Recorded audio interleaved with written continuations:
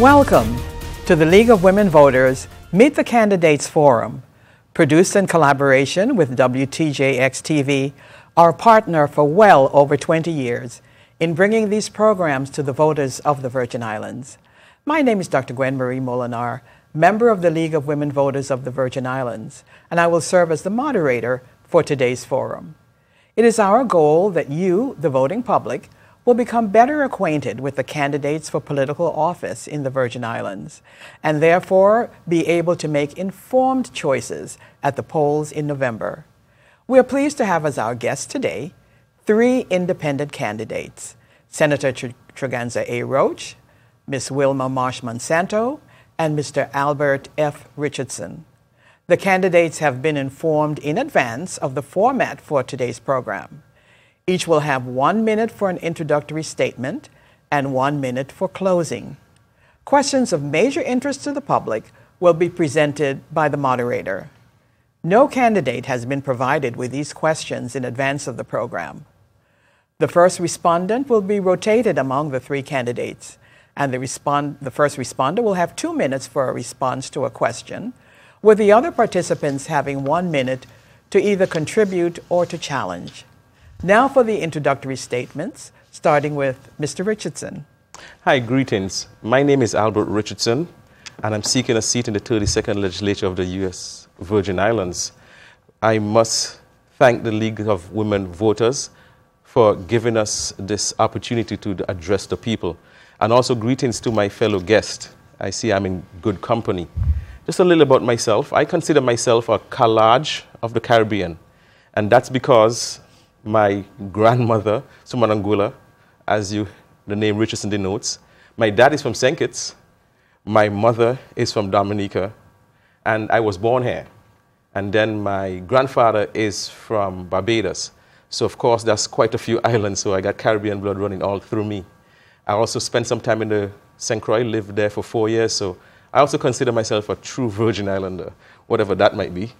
Um, I've had a long career in banking and home financing.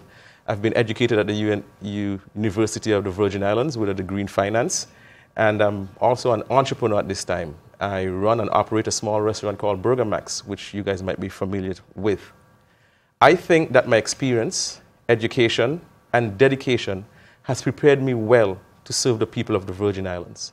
My aim is to work with my colleagues, whomever they may be, to provide clarity, purpose, and solutions to the issues facing our people of the Virgin Islands.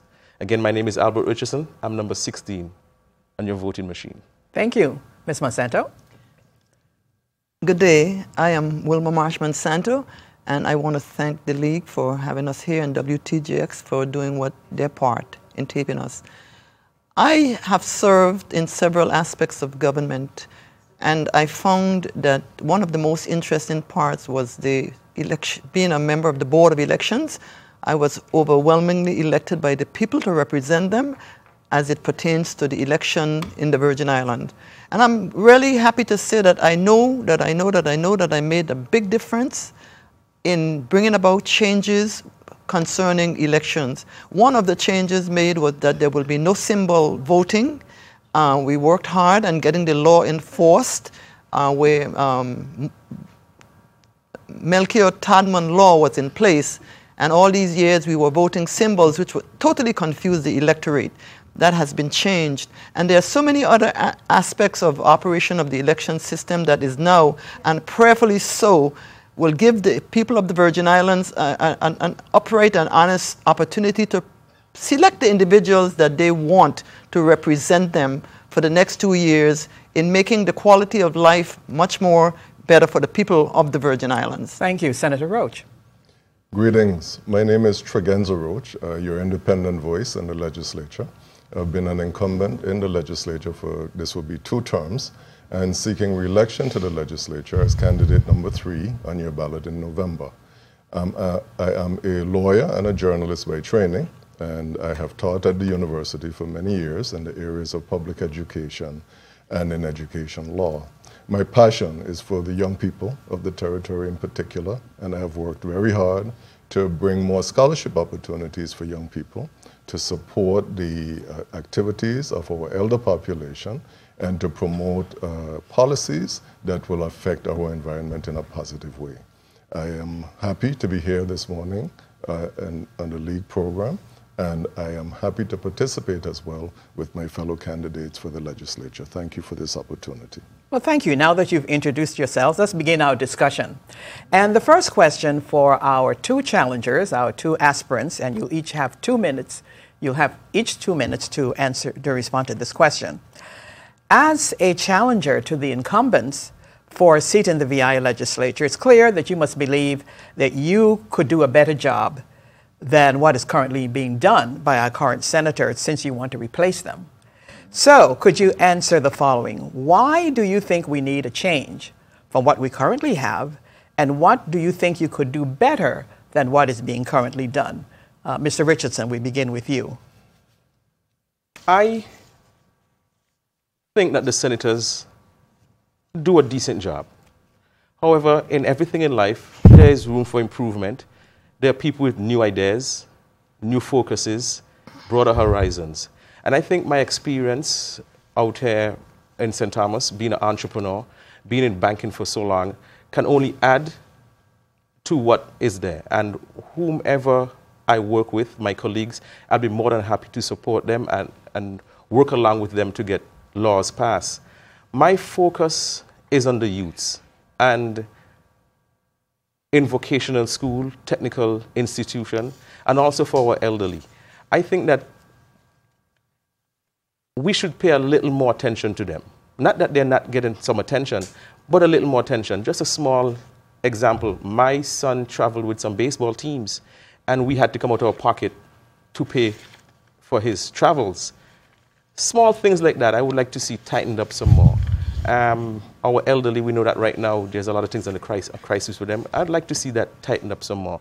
So there's room for improvement, and I think that coming with fresh ideas can complement the ideas that are there and improve on them. Thank you. Ms. Monsanto? I tend to uh, disagree that the senators, as they stand right now, um, have been very effective in any form or fashion in doing what should be done. For instance, I, I, I think that there's so many areas of concern, I don't know where to begin, but for instance, we have uh, cases that are, are being uh, taking years when it comes to probate matters, taxation. Um, nothing has been done to ease the pain of the, of the taxpayers, particularly on the island of St. John, uh, when you have, a, you have a case in court having to wait 15 years for the case to come forth. There, there are a lot of things that, uh, that, that we must, we don't forget that we are a law-making body. Law making and we should put emphasis on looking at where the weaknesses are and there are quite a few. We, and create laws to bring forth you know, speedy trials and, and speedy action, thus improving the lifestyle for the people of the Virgin Islands. Ms. Monsanto, you think that the legislature has anything to do with pr the probate courts? The legislature is a law-making body. Yes. The, the, the, and of course they do. Of course they would. Probate isn't just for, for the Supreme Court. If probate, probate comes under the, the, the superior uh, jurisdiction, and there are times that, and, and to be honest with you, it's very problematic. It's very problematic that the probate sits in the court for, for many, many years. Yeah, that's, that's the judicial system. This is the legislative do, system the, that we're talking you about. You create laws for the govern the judicial system too, don't yeah. you? Let me move okay. to uh, Senator Roach. what major accomplishments have you made over the past two years on behalf of the people that you believe would justify your reelection? Well, I think I would begin uh, specifically in the area of education. And I have uh, succeeded in getting an amendment to the Hotel Development Act, which will provide $200,000 uh, in scholarships for students who pursue related studies with every new hotel development. Just recently, I also got an amendment to the Scholarship Act that deals with uh, the awarding of scholarships to students at the valedictorian and salutatorian levels. And what I was successful in doing is extending that to students who finish in the adult education program, uh, the adult education programs as well.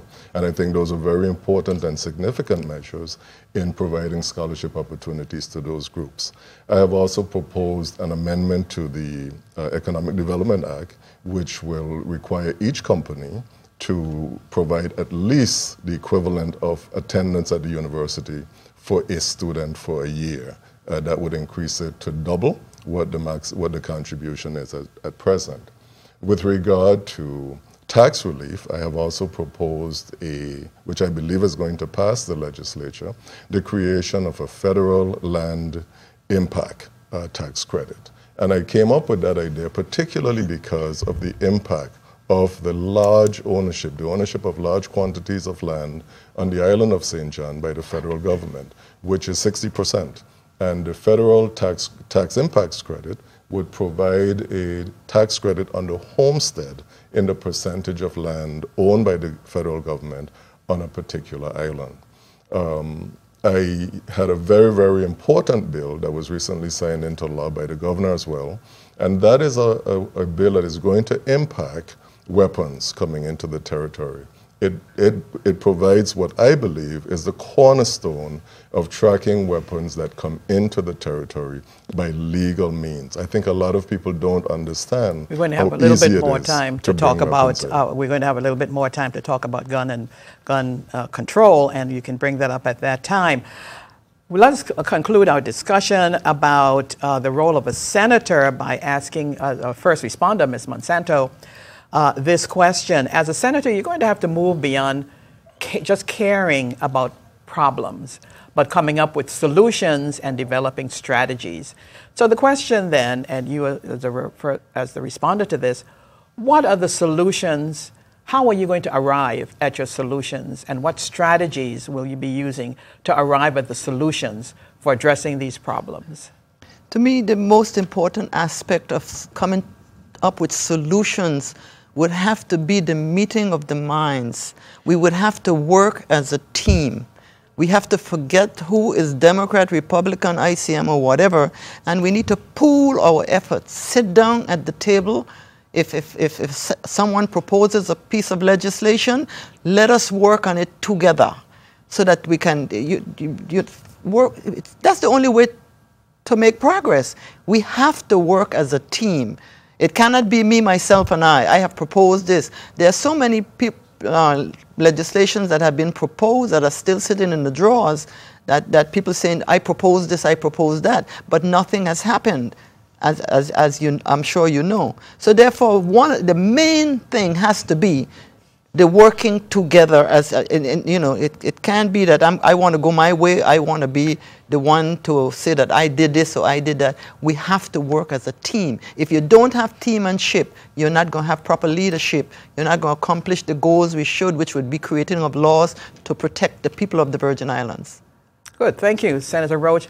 What how do you arrive at solutions to the problems well, uh, I'm a lawyer by training, having been a member of the Virgin Islands Bar since 1991. And so my first uh, approach is always to be prepared, to be as complete as possible in analyzing the problem that's before, problem before us, uh, any data that impacts on it, and after that preparation, there's a great, great need for collaborative approaches. And being the only independent senator from the St. Thomas St. John district, in addition to what I already knew about collaboration and working together, I've had to be even uh, better at that. Uh, because there is nothing that you can do in the legislature without collaborative effort.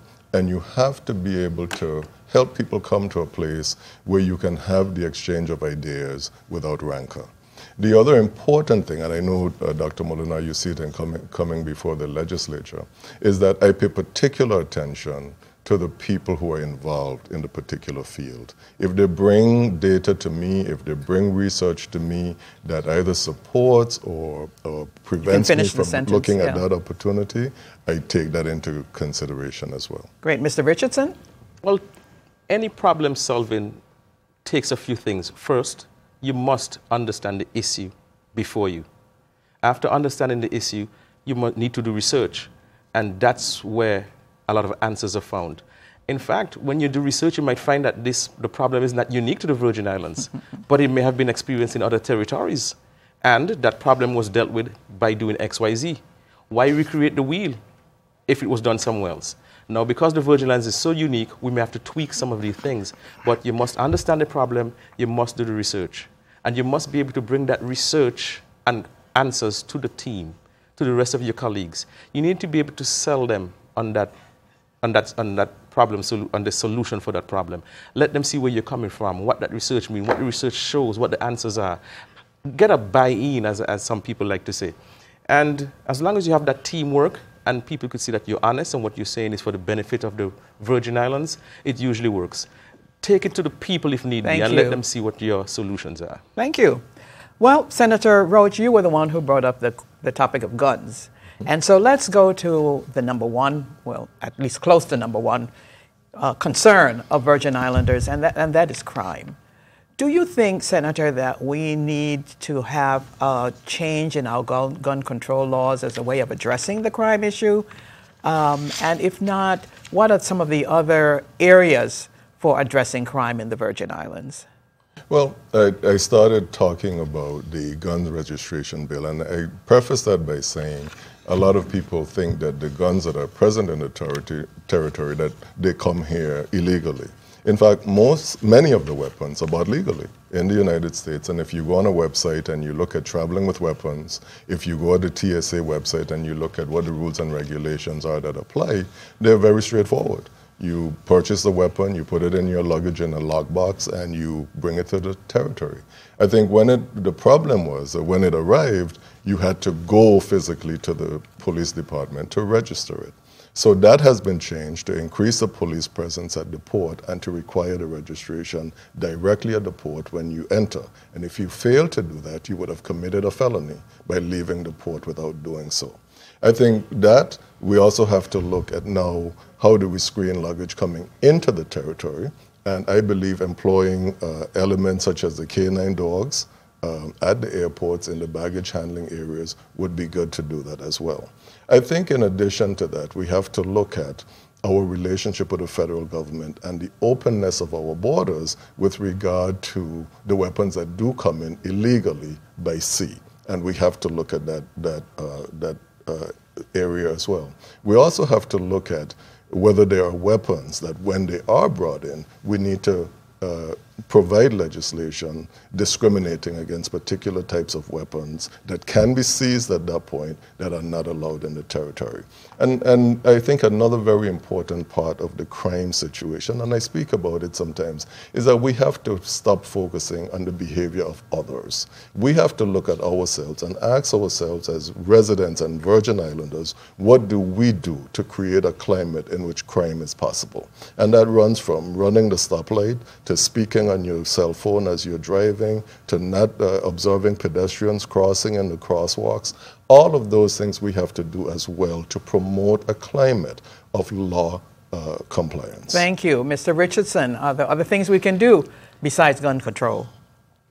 To assist with gun controls, of course, I agree with the senator and the last legislation passed to um, monitor the guns coming into the territory because, as he did say, most of the guns coming in here are coming in legally and then they end up in the hands of people on the street. One thing I would like to see added, and my colleagues could look at something like that, is these people that we get caught with the guns, the question is, where did you get it from? You could, could you imagine if we asked them or tell them or put in place that, listen, if you don't tell us where you got this gun from, you would do an extra five years, extra 10 years? Wouldn't that be a deterrent to them moving with guns? Would we also be a deterrent to the person selling the guns, knowing that they can be ratted out as to where they got the guns? Because most people are self for self-preservation might just say where they get it from. Just, so that's just something to look at. However, the problem about with guns, we must admit, is not just how they get in and who gets them. It's much deeper than that. It's a community issue, isn't it? The community has to stand below, besides our police department. If you see something, say something. Mothers see the children coming back and forth with, with assets. Thank they need you. to I know where you're- those where you're- those coming from. Your, your time is up. We now move to Ms. Monsanto. we, we, we just talking about uh, guns coming in, coming in. But we really need to pay attention to the many young people that are slaughtering each other every day. Uh, what's happening in our community with the young people? I think we need to be a little more humane. Uh, but the thing about it is that the young people don't want to come forth because they figure that they would be uh, uh, challenged or they would be, uh, you know, treated not fairly. If they, you know, you say about seeing things and speaking it, and, and it, it, we have gotten to the point where we can't even trust making a phone call that, that someone is house is being broken into because when the response is made, you'd be surprised how that response and by whom that response is made and how long it takes for that response. So we really have to see if we could corral the young people and find employment for them, expunge the records. Some of these young people have records that, and, and they know it's being held against them. What can we do to help? How can we work with other organizations that would come with a protective attitude? We're not going to criminalize you, we're not going to lock you up, but we want to help you so that you don't be a victim of even gun violence. Okay, thank you. Uh, we will, let's now turn our attention to economic development and the financial status of the Virgin Islands because we could, we could spend the, really the, the rest of the program talking about crime, but there's some other issues that I wanted to bring up. And so we're going to uh, begin with Mr. Richardson for, to be the first responder of this question, and then the others will, can respond to it. And the question is this. We have all heard the financial experts say that the Virgin Islands must grow its economy in order to raise itself from its current financial crisis. So, I will ask you and the, the incumbents, what do you plan to do? Because this is an, an issue that you're going to have to, to address. What do you plan to do as new senators to improve and grow the economy of the Virgin Islands? Mr. Richardson? My take on this is that every dollar, every job in the Virgin Islands has a multiplier effect. So my focus is bringing as much investment into the United States Virgin Islands, bringing as much jobs to the United States and Virgin how you, Islands. how are you going to do and that? And how we do that? We have a beautiful program in place right now. It's called the EDC program. It has been proven to bring in millions of dollars into the US, United States Virgin Islands. It may have tapered off a bit, but I'm, think, I'm thinking we can refocus some attention to that, bring in some more dollars. People, it's been stated in the last report that they have paid over $1.5 million, billion, billion dollars, I'm sorry, in salaries only. That, those salary dollars is what sustain our society. They've spent billions of dollars in buying buildings, fixing them up in capital projects. So let's bring those in. There are other programs out there. I mentioned once before a program that I, I, I researched called the EB5 program. It's where investors come to our shores and they must put up between 500 to a million dollars to invest in a business. In exchange for in that investment, they must hire locals. They must remain in business for at least two years. And in exchange for that, they offered U.S. citizenship. And I'm not just pulling this out of the air. This has been done and is being done in the United States of America successfully. Like everything else, it had its challenges. But as time goes by, it has, they have ironed out most of that. Why don't we look into something like that? We must bring in sustainable income into the Virgin Islands. Well, of course, in the Virgin Islands, we cannot offer citizenship uh, to. We, we well, the, it, it, it, it can be done based on the research that I, that, that, that, that I looked at, and it's something that we'd have to dig a little deeper into to get some of the answers. There's also, we've spoken about sports tourism for quite a while. Croix is prime, ready and ripe for something like that. And I know that there's money allocated for it, there's money sitting around for it. Why don't we move on something like that? Could you imagine the jobs that would create just to build the capital project? Immediately that money moves into the Virgin Islands, it moves around, the multiplier effect gets in. Then imagine people coming to the Virgin Islands to use those facilities. As, as the cliche says, build it and they will come. Let's do that. Let's push hard to bring in more investment into the community, more investment into the, into the Virgin Islands. And that's a sure way to get money here, get jobs here, and everyone benefits from that. Ms. Monsanto, would you like to contribute to that? Yes. We, we, we, we look at um, our, the need for, to build our economy. Nevertheless, all of our prime uh, Mr. Richardson just mentioned uh, we can do build this and we can build that. Yes, but too many things are outsourced from the Virgin Islands. Too, I pick up and I dial 913.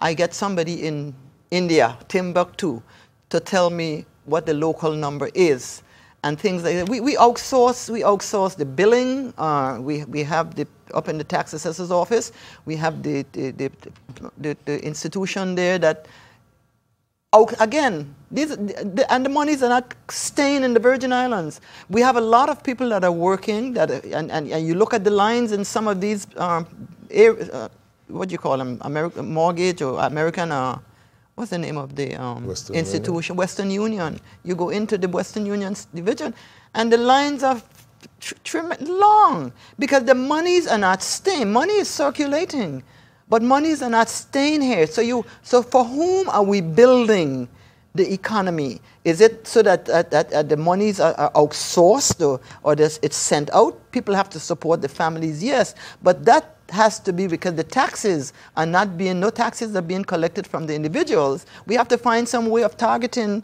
Western Union to get some some sort of fund. Okay, thank uh, you for that for that response, uh, Senator. Uh, would you care to address that issue? Uh, well, I wanted to add to the economic uh, ideas. I think yeah. the the piece that I would like to see focuses on the restoration and rebuilding of our historic towns. If you look at the towns of Christiansted, Frederiksted, Charlotte Amalie, uh, compare them, uh, Dr. Molina, to 30 years ago or 40 years ago, there's a great deal for great need for investment in the towns. And one of the things that I've proposed is to look at how we use the internal revenue matching funds that we get from the tax uh, rebates, and to think about creating a small business uh, fund to support uh, entrepreneurs, and there's a set aside for young entrepreneurs who develop businesses, establish or expand businesses within the historic towns. I think a, a, key part of our economic development lies in the restoration of the heart of, of these islands, which are the historic towns. I also believe that there is unlimited potential in agriculture. Uh, throughout the world now, so many persons are concerned with the quality of food that they're consuming and we have an opportunity to uh, capture a niche in the uh, organic farming and uh, a measure that I have that is directed at uh, using some of the well, maybe we can discuss that in the, in the, in the following in the following question, and the, the, this question now goes to Ms. Monsanto. Uh, Senator Roach mentioned agriculture, and I know that uh, there has been a push by some of the farmers to obtain one percent of the general budget to support agricultural program. Uh, the question that we would ask then is, how would you as a senator address this request when there are, we hardly have enough money to fund some of the things that we are required to fund, education, health? How would you respond to that, Ms. Monsanto? I think we need a, a, a complete overhaul uh, as to what progress the Agriculture Department has made in, in expanding its programs. Um, to come to market and say you're giving out this and giving out that to the senior citizens or to whatever is not sufficient because we, we, we're trying to work it up to the point that the schools could be supplied in its entirety, perhaps with fresh fruits and vegetables. St. Croix has a vast um, fertile land holding and uh, it, it, it, we, we need to come up, like you said, with the funding for this. And one of the things we would have to look into is what federal grants can we get? I, am concerned about federal programs. We need a federal programs office just by itself here in the Virgin Islands, uh, where anyone who is requesting a grant or uh, make request for a grant, that it passes through that office. Because there are a lot of grants that come about that nobody knows, and I'm, I'm from experience, nobody knows where these monies are going. You give a, a small expose as to what you would do with the monies. But when the monies come in, nobody, there's no accounting as to how these monies were spent, what, what monies you have on hand. We, we need some honesty and transparency in what we are dealing with. We talk about money, money, but we are not being very transparent, very honest in how we are looking at at, at the money situation. And by the way, the legislature is the one who controls and holds the purse strings and they have not been doing a good job as far as I'm concerned when it comes to, I see I sat the other day and listened, uh, we come up with $179 million for education. And you just, just because somebody asks you for, you know, for a certain amount of money, you just dole it out, dole it out without understanding, without knowing truly if you have these monies available and there should be some sort of line item, line item budgeting. We can't do it otherwise. Okay, so you have, that's your approach, Senator. Uh, well, well, to speak directly on your question, uh, I believe that it's clear time that we see more science in agriculture. And I, I don't believe that the solution to every issue is money, because a lot of the times uh, when people come to the uh, legislature, it's a question we don't have money to do this and we don't have money to do that. And I think it's time to have more extensive collaboration between agriculture and the university because I, I, when agriculture thrived, we didn't have a labor cost. That was in slavery. We, had, we have now the cost of labor, but we have to look at how does science address that. And I don't see enough collaboration between the university and agriculture. I do believe that uh, there is a great opportunity to also tap into federal funds that may be available from the National Science Foundation, et cetera, that can be brought to bear on how we utilize our limited land area to uh, have the greatest yield. Um, the question of uh, uh, 1% of the budget is an important one. Right now, that would probably double what is available for agriculture. Okay, but, time, time is up, but I, I, do want to correct one thing. You, you mentioned the lack of cooperation between or, or activity between the university and, uh, and the farmers. Uh, you're not suggesting, I hope, that it's a, a, failure on the part of the university. Oh, no, no, no. okay. I'm just saying that there's more collaboration that can take can place. Mr. Richardson. Well, let's face it, zero from zero is zero, correct? So if there's no money, there's no money. But why don't we look at a different approach? What I would do for the farmers, um, or what I would encourage, is of course to continue looking through the federal government because I know there's um, departments in the federal government that looks after our farmers. So let's, let's look at the grants that's there. What about this? What about if we help the farmers market their goods? Let's put it in place that the major supermarkets here buy from our farmers. Farm to table is a big thing these days in the United States. People want fresh fruits, fresh vegetables. What if the government itself becomes a client of these farmers? All the foods that are provided in the, in the food program to the schools, why don't the government be the one buying from the farmers? Plus, can we give incentives to these huge supermarkets to buy locally? Listen, if you buy from our farmers, then you get an incentive of X, Y, Z. What that says is that we provided a market for our farmers. They could see that their hard work isn't in vain. They have some place to somebody and some place to sell their goods, and everybody benefits from it. We must admit, not much young people are going to farming right now. It's hard work, and sometimes they just don't want to Thank go that you. route. That, that's, that's, a, that's a very important point that people are not taking uh, into consideration. So let's, let's look now at the way we are spending these taxpayer dollars uh, uh, in the government. And mm-hmm. Senator Roach, uh, I'm going to pose this question to you. In the past year, there was a major public outcry regarding the unmonitored and reckless use of public credit cards.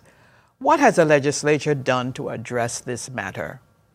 I believe it was, it was originally um, brought up by Senator Liburd uh, and, and Senator uh, Blyden, but has the legislature done anything at all about?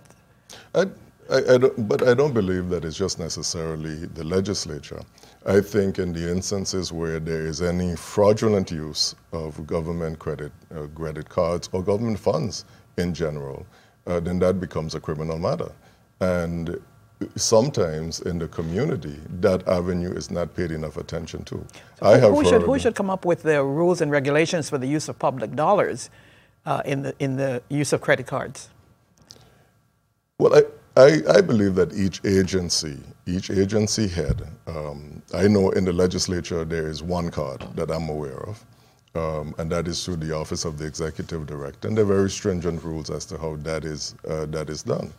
Um, I believe that it's incumbent on the uh, executive branch of the government as well to come up with policies and regulations uh, regarding that. I believe if we look at the statutes, one of the things that I always do before I propose new legislation is to look at statutes that are present that address the particular situation. And I believe that if there are instances of violation of uses of uh, government property or government resources, then the appropriate agency, the, we have had extensive audits done by the um, uh, Inspector General's office, uh, reviewing contracts, reviewing how monies have been used, how, how they've been allocated, and criminal charges need to be brought in the instances where there are those violations. Okay, Ms. Um, Mr. Richardson, do you want to address that? Oh, of course. Um, I had a career in banking, so my banking career and also being a finance manager at one of the local institutions have taught me that there must be checks and balances. I don't think it's a senator's role to tell people how to balance their checkbooks, how to look at every credit card spending. Each department should be responsible for that. They should have checks and balances in place. If you spend something on your credit card, please show me the receipts. In fact, before you spend it, should it be approved? Shouldn't the reason why, you, why you're using it fall within certain guidelines? If that is so, is so, and the accounting department, the finance department in that department is really tight. Nothing gets spent without proper authorization, proper proof of what the expenditures was, and also the, how legit the expenditure was. If it wasn't legit, then there's two things you do. One, you either pay it back, but it should have been approved before you spent it. But if it wasn't, it wasn't approved, if it wasn't legit or used for proper cause, then you need to pay it back. And for those who want to abuse the system, there is the judicial system that comes Thank in place you. to take care of what they need to. Ms. Monsanto. Yes, I'm glad you asked that question because being on the Board of Election, it, it's, it's unbelievable what happens with the people's money. Now, and, and, and you have a situation where an individual was granted $5,000 in a cash advance to, to take a trip.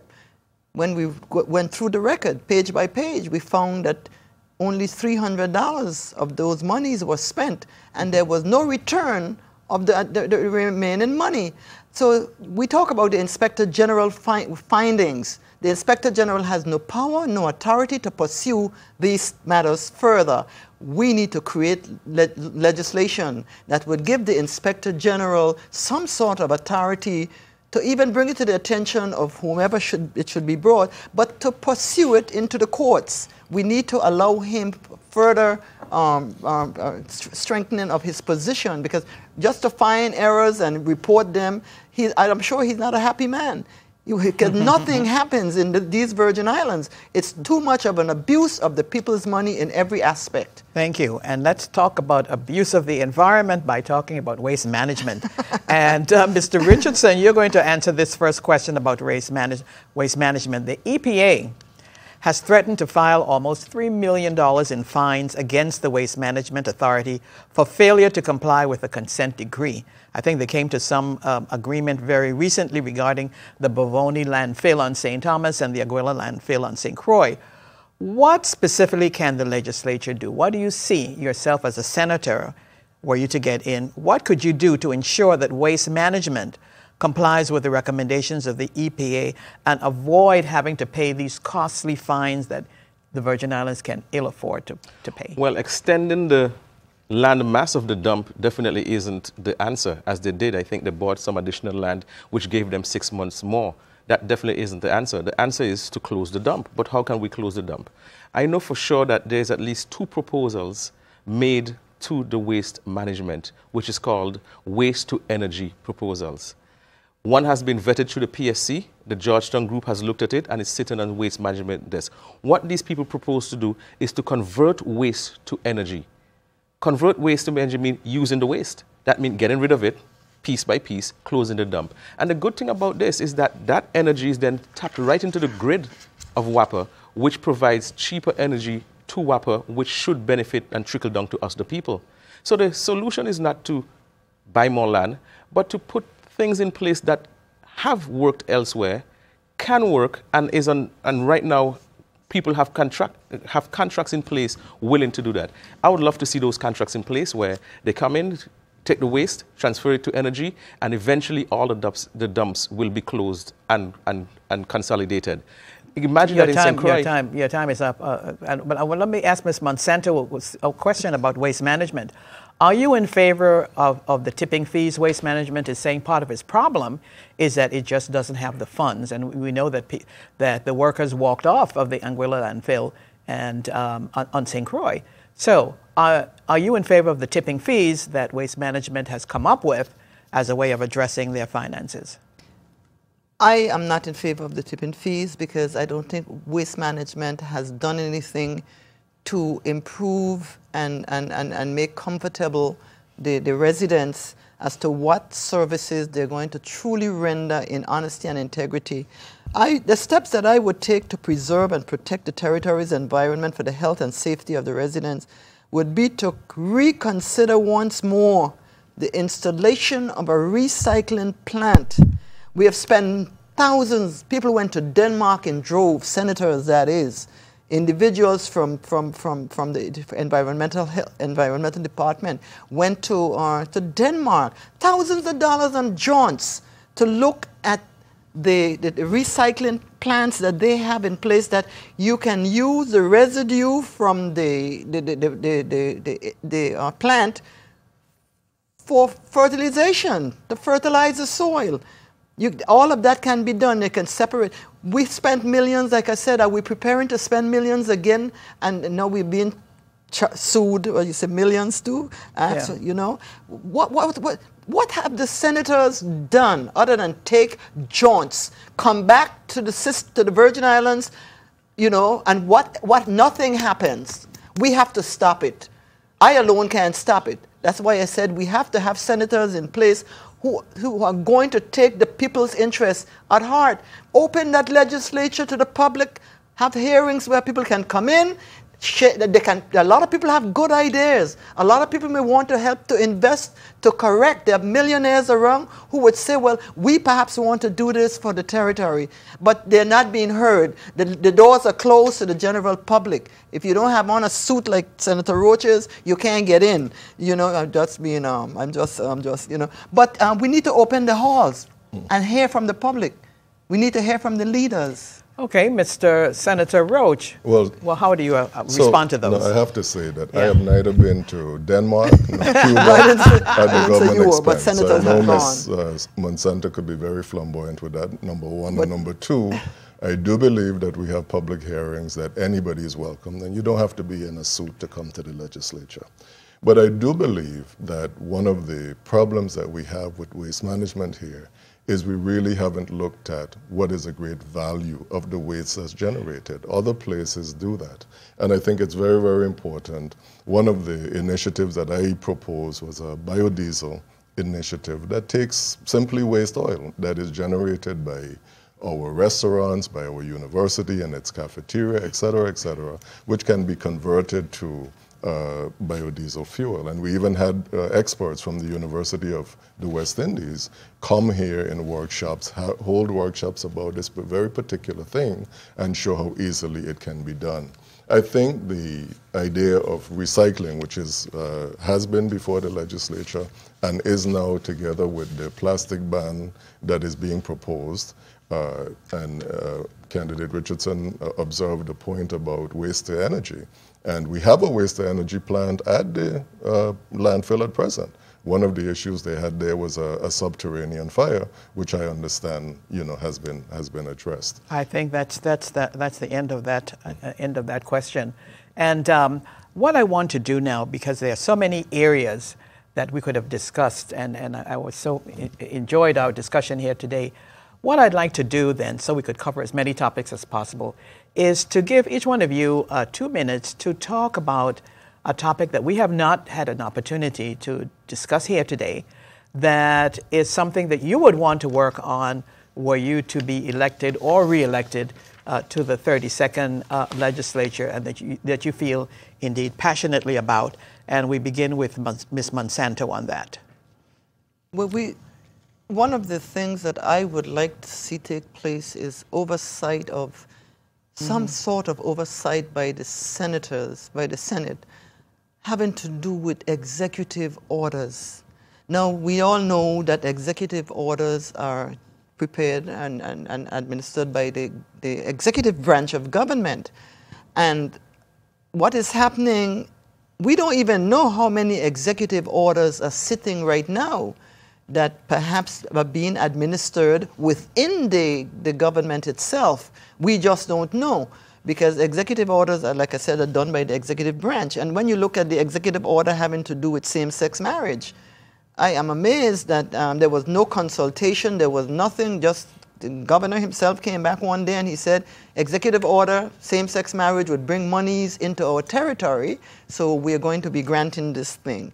And, um, and I, I, think that th these are areas that, that really uh, concern the people as a, of, as a whole, and here is where I, I personally would want to see some legislation governing the over, governing the working together. The governor can prepare and, sub, and submit or do what he has to do, but he should not retain the power all by himself. He should not, because the Senate represents the people of the Virgin Islands. He does too, but it's not a one-man show. And we need to work the executive and the senatorial, the judicial branches of government. We need to be a working team if we are going to make progress in this place. Yes, okay. I, I, I, understand your concern about that with respect to uh, same-sex marriage. It is not uh, uh, an executive order in the Virgin Islands. As you know, it's a national, it's a national thing. It's an executive order. He put it in place when he did come back. If you don't, if you, yeah, you don't know but that, it, it is a, it is a national thing. You have no, we have no control over that. Senator Roach, what's your burning issue? Well, I, I think that one of the, the, issues that we really need to pay attention to in the Virgin Islands is climate change. Mm -hmm. I think that is going to be an issue for the entire planet. And because we rely so much on our environment for our economic product, and a large part of it, which is uh, tourism, we need to really be serious about how it's going to impact, for instance, vulnerable areas like our coastlines, and issues as to include water, water safety, water control, water availability. And one of the bills that I've proposed, and I've been working with the Green Technology Center at the university, is to provide a comprehensive approach to looking at how we're going to deal with particular areas of our economy, tourism, agriculture, etc., with regard to the impacts of the impending climate change. That's one. And two, I think we have to look uh, to how we diversify our tourism product. And I think we need to pay particular attention to that because of the increasing competition uh, that is taking place in our region. And we have to look at new elements of that product. And one of the things that I want to do is to look at how our neighboring island, Hassel Island, which holds so much of the keys to understanding the maritime history of the Virgin Islands, how that can be accessed more readily as an expansion of our tourism product and as an extension of our educational products where our children can learn more about this territory. And right now I've been discussing with Basil Otley how we might undertake a feasibility study of a very futuristic idea, which is connecting uh, Hassel Island and St. Thomas mm. by, by, a bridge, by a pedestrian bridge where you can simply walk across and explore the wonderful historic ruins, the pieces of the history of the Virgin Islands that are not as uh, reachable and tangible as Thank they you. should be. Thank you. I'm, I'm glad you brought up environmental uh, climate control because I don't think in the Virgin Islands we're paying much attention to that and it has serious impacts for us. Mr. Richardson, what's your burning issue? My burning issue is something that's very acute and very near to home. It's GRS. Mm -hmm. Right now, our seniors are facing a serious challenge where GRS is proposing to cut their annuities by 30%. Tough times call for tough decisions, and critical times need critical measures. Right now, we need to look after our seniors. There's different ways to do it. There are different funds we have out here. There's the Insurance Guarantee Fund, there's the Community Facilities Fund. Each of them get money, one from the insurance premium and the other one from GIAGE, respectively. Those are capped at 25 million, 50 million, whatever the cap is. What about when we reach, the, reach that cap, the excess? What do we do with it? Usually that's diverted to different places in the government. But GRS is at a place now that I would ask our colleagues and ask anybody to side with me on taking care of our seniors. When these funds reach the cap, take that money from there, put it where it, where it makes the most difference for our seniors. I cannot see the people that have lived here, have worked hard in the government, just trusted aside and thrown away and given even less than what they need to survive on. So I'd like to see that what happen. And next big burning issue that I have, and I would like to work with my colleagues, is insurance.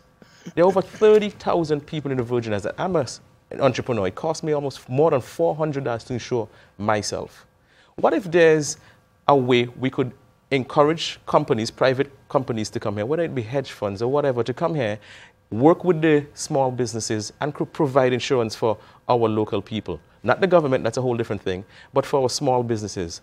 I am willing to pay something for my employee to keep them, to make them more whole, to give them insurance. What that does, the $50 million on uncompensated funds at the hospital, care, sorry, at the hospital, that, bridge got, that gap is now bridged.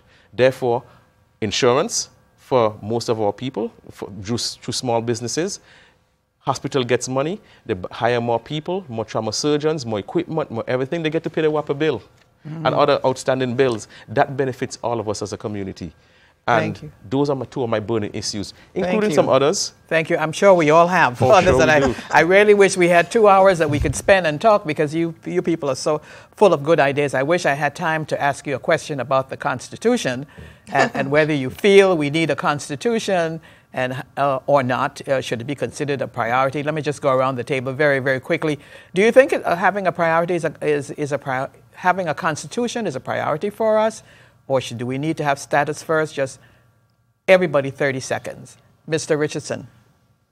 I think we we need to figure out our status, how we relate to the United States. So we need to do that first. Yeah, we need to figure out who, where we want to go, what we want to be first before okay. we decide what we use to govern Ms. Monsanto?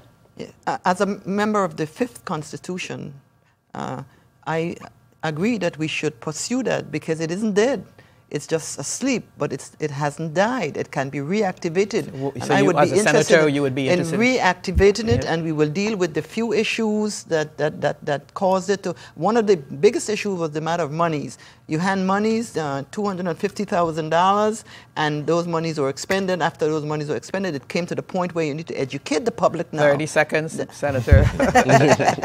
yes, I, I think we should pursue a constitution, and I don't think that we should be at all threatened or put off by the fact that we've done it a few times before mm-hmm. because it's an evolving process mm-hmm. and you Thank learn you. each time you do it. Good. Well, we've, we've come to the end of today's Thank forum, yeah. and each candidate will now have one minute to close, beginning with Senator Roach. Uh, thank you. This has been a very enjoyable uh, discussion, and I will ask the voters to allow me to continue a good work that I have begun. I am number three on your ballot uh, when we vote in November, your independent voice in the legislature, and I will continue to uh, maintain my focus on the young people of the territory, ideas and issues that affect the elderly, and whatever I can do to promote and preserve uh, the wonderful environment that we enjoy as persons who live in this wonderful part of the world. Thank you so much for listening. Uh, thank you for your support, and I look forward to serving you in the future. Tregenza Roach, candidate number three. Thank you. Ms. Monsanto? Yes, uh, Wilma Marsh Monsanto, number 11, numero once on the ballot. Uh, I want to thank the uh, League and uh, WTJX for this is indeed a privilege to sit here and share with your listening audience, with the public, uh, our ideas, what we would like to do, and sitting and looking at us express ourselves in person uh, is, is, is I, I, I, hope you will take us seriously in what we have said, weigh what we have said, and uh, give, I ask you to give me your support on November 8th. Now, I'm very uh, interested in honesty, transparency and integrity in government, particularly by our elected officials. Thank I'm you. longing for that. And I, another, the last thing is proper and legal assessment of properties in the Virgin Islands must take place. This, is, this has to Thank come you. with the outcome of fair taxation. We need fair taxation for the people of the Virgin Islands. Thank you. And Mr. Richardson? Yes, again, my name is Albert Richardson. This was more fun I thought, than I thought it would be. I really did enjoy it, um, and with my colleagues right here, or, or, my, my fellow guests, I really enjoyed it. Again, my name is Albert Richardson, and um, my focus, of course, as I said, is um, on the youths crime reduction program, giving our youths something to do. Um, it says, idle hands find crazy things to do. Paraphrasing a bit. So if we give our youth something to vocational school, vocational institutions, something to make them productive members of society, imagine the effect it would have on crime reduction. Imagine what the economy would do if young people start working, putting money back into the system. It would benefit, benefit all of us. Again, my name is Albert Richardson, and for dedication, clarity, and purpose, vote number 16, Sweet 16, um, Albert Richardson to the Senate. Thank you. On behalf of the League of Women Voters of the Virgin Islands, I'd like to thank our three candidates for being here on today's forum. And thank you, WTJX, and our viewing audience. Please continue to view all of our programs, which air Mondays, Wednesdays, and Fridays at 9 p.m., and will re air on Saturdays at 4 and Sundays at 4 and 5 p.m. Be sure, voters, that you are registered to vote. Your vote does count. In the Virgin Islands, where our numbers are relatively small, one vote can make a big difference. Remember, your vote determines the kind of government we will have. And do consider to join the League of Women Voters. As Mr. Richardson said, we are a fun group. We are serious about the Virgin Islands, but we are open to both men and women. Be sure to visit our website at www.lwvvi.org. I'm Gwen Marie Moolenaar, and I do look forward to seeing you at the polls. Thank you.